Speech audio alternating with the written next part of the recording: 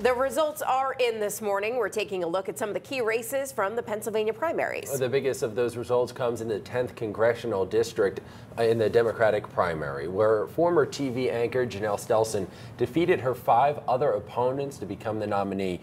Let's take a look at the numbers. With 98% of the precincts reporting, Stelson earned around 44% of the vote. Fox 43's James Corrigan is live in Derry Township, Dauphin County, where Stelson held her election party last night. And he explains what this race now is going to mean for November. Good morning, James.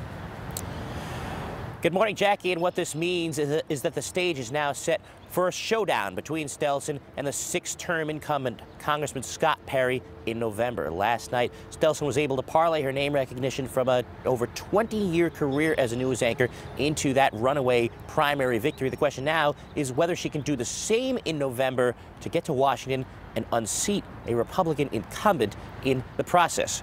Stelson won the primary last night by a little over 20 percentage points over her nearest opponent, former Marine Mike O'Brien. She celebrated her watch party last night right here at the Englewood in Derry Township, Dauphin County.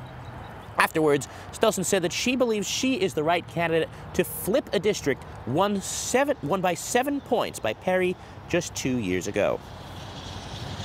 Josh Shapiro, our Democratic governor, won this district by 12 points against Doug Mastriano. And I think you can make the argument that Mastriano is nothing but Scott Perry light. So with the right candidate, I think we can really do this. Now, we also caught up with Perry uh, yesterday, who has defeated all of his Democratic challengers since the congressional map was redrawn in 2018 to make the district a little more competitive. He ran unopposed on the Republican side in yesterday's primary.